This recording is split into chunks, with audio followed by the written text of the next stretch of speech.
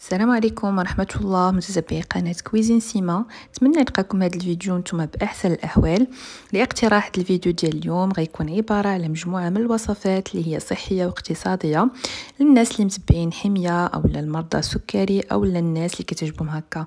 وصفات اللي هي صحية. فالمهم هذه الوصفات اللي غادي تعجبكم أكيد وبلا ما نطول عليكم فندوزو باش نحضروا الوصفات ديالنا اليوم إن شاء الله. وما تنساوش إلا كنتو أول مرة كتزوروا القناة ديالي انكم تشتركوا فيها وتضغطوا على زر الجرس باش يوصلكم دائما جديد الوصفات اللي كنقدم لكم. ونبداو الفيديو على بركة الله.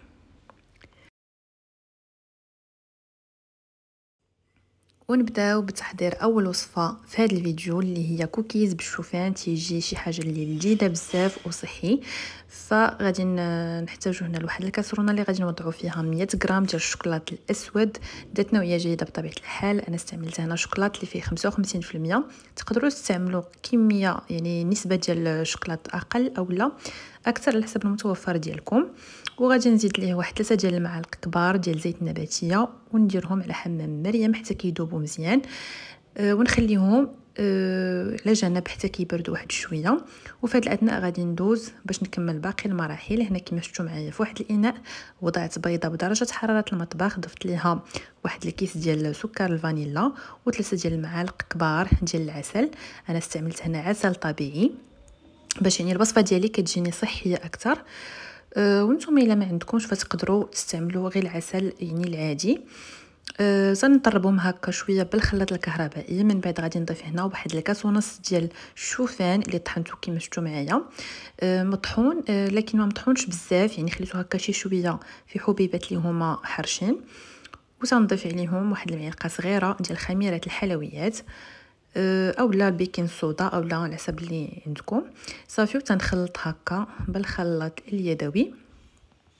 من بعد غادي نضيف هذاك الشكلاط اللي خليته كيبرد. ضروري أنكم تخليوه يبرد أه هكا. يعني يكون بارد أو لا دافي شي شوية. صافي وتنخلط مرة أخرى هاد العناصر كاملين. حتى كيتخلط لي داك الشكلاط مع باقي المكونات. ما تخلطوش بزاف يعني فقط هكا غير حتى كيبان لكم أنه تجانس صافي كتوقفوا من التحريك ديال الخليط ديالكم. وبطبيعة الحال باش يعني هاد الخليط هذا يجينا متماسك فغادي نوضعوه في الثلاجة لمدة ديال واحد ربع ساعة تقريبا. فقط غير باش كيتماسك لينا الخليط ديالنا. وصافي وتنخرجوه كما شفتوا معايا هنا. كيجي بهذا القوام هذا. صافي دابا غادي نبدا كنشكل هكا واحد الكويرات. أه تقدروا نتوما تحكموا في الحجم ديال ديال الكوكيز ديالكم. بغيتو يجيكم صغير فكتصغروا يعني كتصغروا حجم ديال الكريات. بغيتو يجيكم هكا شوية كبير فكتكبروهم. صافي تنوضعهم هكا في واحد اللاطة اللي فرشت ليها ورق ديال الطبخ. و آه غادي نبقى هكا تنكمل الكميه اللي عندي كاملها. أنا تقريبا هنا عطاتني واحد عطاتني واحد 12 حبه 12 حبه ديال ديال الكوكيز. وإلا بغيتو كميه أكثر فراه بطبيعه الحال كتضعفوا المقادير ديالكم باش كتحصلوا على كميه اللي تبقى معكم واحد المدة. أه هنا باش كنزين خديت نفس النوعية ديال الشوكولاتة اللي استعملت يعني في الوصفة. قطعتها هكا أه قطع صغيرة باش غادي نزين الوجه ديال الكوكيز. وتقدروا كذلك اللي عندكم هذوك الحبيبات اللي كيكونوا صغار أه تزوقوا بهم حتى هما. أنا ما توفروش عندي فاستعملت كما قلت لكم نفس الشوكولاط اللي استعملته في الوصفة. هكا قطعته قطع صغيرة وزينت به الوجه ديال الكوكيز ديالي. فصافي آه غادي ندخلو دابا للفرن. اللي مسخن من قبل على درجة حرارة 180 غادي نخليه تقريبا واحد العشرة ديال الدقائق يعني ما تفوتوهاش باش ما يجيكمش قاصح بزاف. صافي كتعلو ليه من الفوق ومن التحت حتى كيطيب مزيان. صافي كيبان لكم بأن الحجم ديالو ضعف كتخرجوه من الفران وكتخليوه حتى كيبرد تماما. عاد كتناولوه. فكما شفتوا معايا طريقة ديال التحضير سهلة وبسيطة وكذلك المقادير في المتناول ومقادير اللي هي صحية. علاش لا نوجدوا هكا شي حاجة اللي تكون زوينة ولذيذة وكذلك ما تضرش الصحه ديالنا. ودابا غادي ندوزو لتاني وصفة. وتاني وصفة هي عبارة على بغرير بدقيق ديال القمح الكامل اللي غادي نحتاجو ليه أكيد الدقيق ديال القمح اللي غادي نحيدو منه هذيك النخالة اللي تكون غليظة. كما شفتوا معايا هنا غربلتو. آه غادي نوضعها جانبا يعني ما غاديش نستعملها في الوصفة لأن آه باش يجينا هكا البغرير ديالنا خفيف ومهوي. غادي نضيف كما شفتوا معايا هنا جوج ديال الكؤوس آه غادي نضيفهم في الخلاط الكهربائي. زدت عليهم واحد المعلقه كبيرة ديال الخميرة ديال الخبز وغنضيف ساشي ديال خميرة الحلويات. كذلك غادي نضيف الملحة اللي كتبقى حسب الذوق. بالنسبة لي أنا استعملت واحد نصف ملعقة صغيرة. تقدروا تنقصوا إلا ما بغيتوش الملحة يعني الا بغيتو تستغناو عليها فممكن. أه وهنا غادي نضيف الماء اللي يكون دافئ بنفس الكاس اللي عبرت به يعني أه دقيق ديال القمح وغادي نضيف كذلك واحد القطرات ديال الخل اللي كيزيدوا كيعطيونا واحد الخفة لهذا البغرير هذا. صافي تنخلطوا المكونات كاملهم تقريبا واحد خمسة ديال الدقيق. ما تكثروش هكا يعني الطحين بزاف تبقاو كطحنوا فيه بزاف. كذلك الماء ما يكونش سخون بزاف باش ما يخسرش لكم القوام ديال الخليط ديالكم. صافي غير كتشوفوا هاد الفقاعات بحال هكا كما كيبان لكم في الصورة. صافي كتوقفوا من التخلاط اولا من الطحن ديال العنا ديال ديال الخليط ديالكم. غادي تخليوه جانبا تقريبا واحد 15 دقيقة حتى كيختمر. إلا كان الجو بارد فراه كيبغي آه، وقت أكثر كان الجو سخون فدغيا كيختمر بسرعة. صافي غادي ندوزو مباشرة باش كنطيبوه كتكون أكيد المقله سخونة وتنوضعو هكا آه، قياس ديال المغرفة. صافي وتنجهدو عليه العافية. حتى كيتثقب كما كتشوفوا معايا. وملاحظة كذلك فالبغريرة اللي طابت ما توضعوهاش مباشرة في طبق ديال التقديم. ضروري ما أنكم تكونوا حاطين حداكم واحد المنديل آه اللي كتوضعوا فيه البغرير ديالكم مباشرة بعد ما كطيبوه. كتخليوه حتى كيبرد تماما. عاد كتوضعوه في الطبق ديال التقديم باش ما كيتعجنش لكم وما كيخسرش القوام ديالو. ف آه، غادي نكمل هكا الطيب ديال الكمية كاملها اللي عندي وعاد غادي نرافقو هكا بشوية ديال زيت الزيتون اولا الزبدة بلديه اولا العسل هكا باش كتجيكم وصفة اللي هي صحية أكثر. ماكويس ديال اتاي وكنقدموه بالصحة والراحة غير جربوا هاد الوصفة. راه غادي تنال الإعجاب ديالكم وراه كيجي خفيف وزوين كما كتلاحظوا معايا في الصورة. وغادي نمروا الآن باش غادي نحضروا ثالث وصفة في هذا الفيديو هذا. غادي نحضروا مع بعضياتنا. واحد الكيكة ديال التفاح كتجي زوينة بزاف. كيكة ديال التفاح أكيد غادي نحضروها بدقيق ديال القمح. فغادي ناخذ واحد الإناء اللي غادي نوضعوا فيه 8 ديال الحبات ديال التمر. غادي نزيدوا عليهم كاس إلى ربع من الحليب. وغادي نطحنوهم بالخلاط. أنا بالنسبة لي استعملت هذا الخلاط هذا لكن عذبني شي شوية في الخدمة ديالو. أه يعني اضطريت أنني حتى نكمل المكونات كاملين عاد أه عاد تطحن ليا هذاك التمر مزيان. نتوما استعملوا المقادير نيشان في الخلاط الكهربائي من الأول باش ما تعذبكمش هكا البصه في الخدمة ديالها. كما شفتوا معايا هنا عاد غادي نزيد دابا جوج ديال البيضات. آه، جوج ديال البيضات يكونوا بدرجه حرارة المطبخ وغادي نضيف قريصة ديال الملحة وشوية ديال القرفة فقط غير باش نسمو الكيك ديالنا لأن كيتواتا كما كتعرفوا مع المذاق ديال التفاح تقدروا كذلك تعوضوه بقشور ديال الليمون اولا البرتقال على حسب اللي متوفر عندكم. غادي نضيف كذلك واحد نصف كأس ديال زيت الزيتون وغادي نطحن هاد المكونات كاملين مزيان. ماشي مشكله بان لكم إلا بقى لكم هكا داك التمر باين فراه كيجي في الكيك زوين كيجي هكا يعني دوك الطرفات باينين ومعلكين. صافي من بعد هنا غادي نضيفو الدقيق ديال القمح غادي نحتاجو واحد كاس كاس والكاس الثاني يعني ما يكونش عامر. آه، أي بمجموع كاس جوج كيسان إلا ربع. بالنسبة للدقيق اللي استعملت هنا فدقيق القمح لكن ما حيدش منه هذيك النخال اللي غليظة.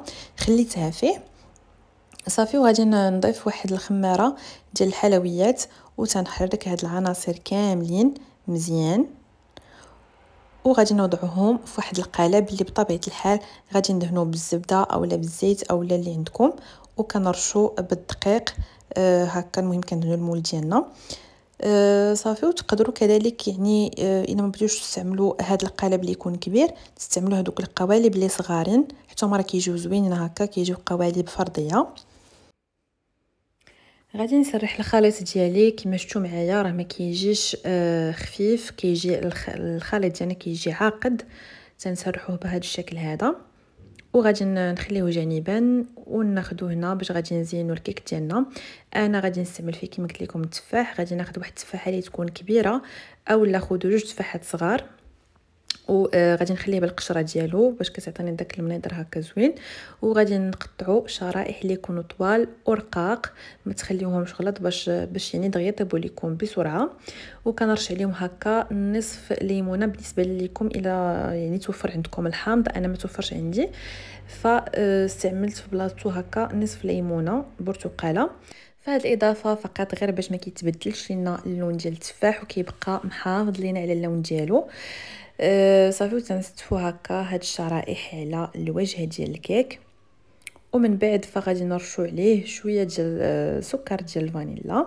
تقدروا ترشوا عليه شوية ديال القرفة من الفوق أو بلا تقدروا تخليوه غير بحال هكاك نتوما وشنو بغيتو. وتدخلوه للفران اللي يكون مسخن من قبل بطبيعة الحال على درجة حرارة 180 كتشعلوا عليه من الفوق ومن الأسفل في نفس الوقت وكتخليوه حتى كيطيب تماما. بالنسبة ليا أنا خدا معايا نص ساعة ديال الطياب. صافي من بعد خرجته من الفران مباشرة كنسقيه اولا كندهن داك الوجه ديال التفاح آه، بشوية ديال العسل آه، عسل طبيعي بطبيعة الحال ولا ما عندكمش راه كتستعملوا غير العسل العادي. صافي وتنقطعوا الكيك ديالنا بعد ما كنخليوه حتى كيبرد واحد شوية. وغادي تشوفوا معايا كيفاش كيجي من الداخل راه كيجي خفيف بزاف. آه، أكيد ما كيرتفعش الحجم ديالو يعني بزاف ولكن راه كيجي خفيف وكيجي آه، يعني إسفنجي ما كيجيش آه، مدقس نهائيا. هانتوما كما غادي تلاحظوا معايا في الصورة كيجي خفيف وكيجي مهوي. فغير جربوا هذه الوصفة هذه حتى هي غادي تنال الإعجاب ديالكم أكيد. ودابا غادي ندوزو لآخر وصفة واللي هي رابع وصفة في هذا الفيديو هذا هنا غادي نحضروا مع بعضياتنا واحد البانكيك ديال الشوفان والبنان تيجي حتى هو زوين بزاف. غادي نوضعوا في واحد الخلاط كهربائي بيضه واحدة. غنضيفوا لها قبصة ديال الملح وساشي ديال سكر الفانيلا. غادي نحليو بربعه ديال التمرات اللي يكونوا آه تمر هكا معجن. غادي نضيفوه المكونات الأخرين. تقدروا كذلك لا ما توفرش عندكم التمر تعوضوه بالعسل. غادي نضيف واحد الياغورت طبيعي. ياغورت بوزن 110 غرام. غادي نضيفوه لهاد الخليط هذا وغادي نضيفو ليه كاس إلا ربع من الماء. الماء العادي يعني ماء بارد. إلا ما توفرش عندكم ياغورت فتقدروا تعوضوا بكاس ونص ديال الحليب. يعني إما تستعملوا آه، الياغورت مع الماء أو لا الحليب. غادي نضيف كذلك واحد ثلاثة ديال المعالق كبار من الزيت النباتية. وغادي نحتاج واحد جوج ديال البنانات اللي يكونوا طايبين مزيان كما كتشوفوا معايا. البنان إلا كان طايب كيعطي مذاق أكثر كيعطي مذاق زوين بزاف حسن ما الا استعملنا داك البنان اللي كيكون خضر. فمن الأحسن إلا عندكم هكا بنان اللي يكون طيب مزيان فاستعملوا في هذه الوصفة هذه غادي نطحنوا هاد العناصر مزيان واحد جوج ديال الدقائق تقريبا حتى كيبانوا لينا العناصر كاملها اندمجات مع بعضياتها وغادي نفرغوه في واحد الإناء اللي غادي نكملوا فيه التحضير ديال الوصفة. غادي نضيفوا ليه دابا واحد جوج ديال الكؤوس من دقيق الشوفان. بالنسبة للشوفان هنا أنا طحنته مزيان يعني يكون ملين ما تخليوش هكا يكون حرش من الأحسن. يعني بحال القوام يعني يكون القوام ديال الدقيق بحال الدقيق ديال الفرص وتنضيف معلقة صغيرة ديال الخميرة ديال الحلوه وتنخلط هادشي كامل. صافي غير كيدخل ليا داك الدقيق ديال الشوفان مع باقي العناصر. كنحبس من التطراب وغادي نغطي هذا الخليط ونخليه جانبا حتى كيختمر المدة ديال 20 دقيقة. ضروري تخليوه حتى كيختمر 20 دقيقة باش كيجيكم منفوخ ما كيجيكمش معجن من بعد إلى طيبتوه. عاد غادي ناخذ واحد المقلاة اللي ما كتلصقش وغادي نوضعها على النار. غادي نخليها في الأول حتى كتسخن مزيان مزيان. عاد من بعد كنقص عليها آه يعني تكون نار متوسطة. وكنبقى كان كنوضع الخليط. يعني كيما شفتوا معايا هنا كنوضع تقريبا جوج ديال المعالق كبار في كل حبة ديال البانكيك. صافي تن يعني حتى كيبانوا لي هكا آه، تحمروا من التحت عاد من بعد كنقلبهم على الوجه الآخر ديالهم.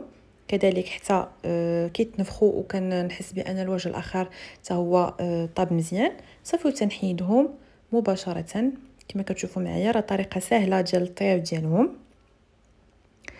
فالصورة كتوضح لكم كلشي. أه ملي تنتهي من الكمية ديال البانكيك اللي عندي تنوضعهم مباشرة في واحد الطبق ديال التقديم.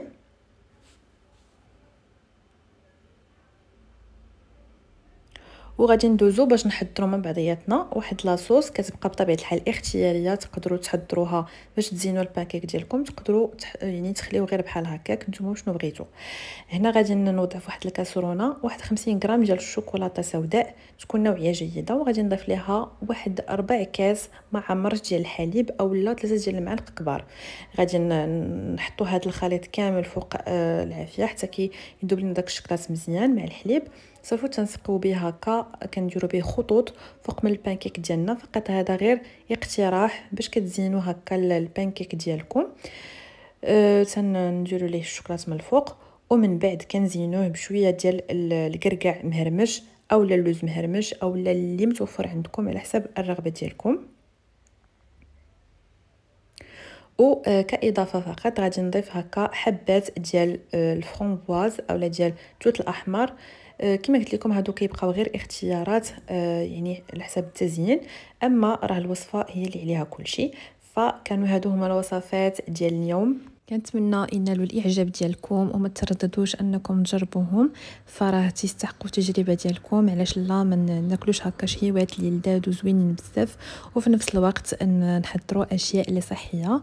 آه إذا وصلنا للنهاية ديال الفيديو. إن شاء الله في فيديو قادم.